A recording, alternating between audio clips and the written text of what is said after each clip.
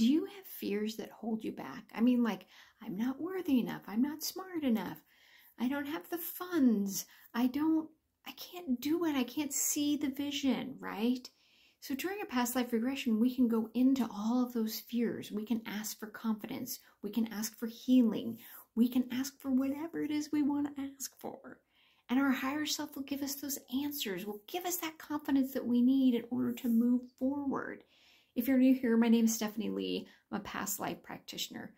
And I help people heal that inner trauma, that childhood trauma, maybe that's stopping them from moving forward. Um, we get those emotional things that are stuck, those blocks that are stuck in your body, and we get those out. And then we empower you to be your most authentic self because you're closing doors and you're opening new ones to all that life has to offer because you are worthy and you are smart enough. You just need to believe in it and have confidence and listen to your higher self when they tell you what it is you need to be doing. Okay?